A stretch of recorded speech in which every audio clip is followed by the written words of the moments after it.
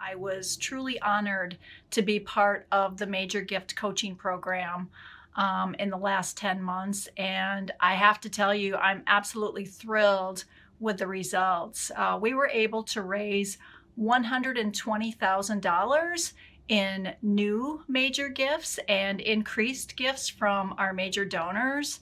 And we have another $112,000 pending right now.